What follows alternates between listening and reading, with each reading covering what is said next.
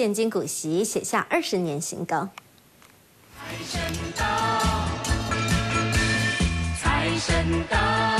封关日发红包，台积电大方给股息，董事会拍板定案，每股配发六块钱，观察近五年水准，去年给四点五块钱，今年数字写下二十年新高。不过业界认为，其实还能。给更多，其实真的是蛮客气的哈。因为呢，如果说按照他自己手上的这个现金的流量，再加上了这一次的这个去年的这个 EPS 的话，那这样子看起来的话，其实如果说他真的是这个要大方的配送的话，其实配到八块九块都是他都有这个能力的。光是董事长张忠谋今年就有七点五亿入袋，大股东国发基金也能领近百亿现金。不过最开心的还是台积电四万名员工，因为去年盈余分红四百一十一亿，等于每位员工平均拿到一百零二万。台积电犒赏员工，也不忘。加紧研发，最主要在呃资本支出的还是会投资在先进制程的一个量产跟一个布局。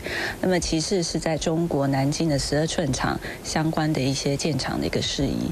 我想这都显示台积电在今年还是积极想要扩大在先进制程这部分的一个优势。台积电前进中国投审会召开记者会，基于独资设厂争议不大，宣布无异议通过。台积电回应乐观其成，其现在过关有特别理由。特别是规划在新国会开议之后，就是避免是造成大家的误会，说我们要规避新国会的监督。受利多激励，三号台积电开盘大涨，中场收在一百四十六元，涨幅超过百分之二。在羊年封关盘势不利之下，逆势上扬。三立新闻余成胡凯中台报道。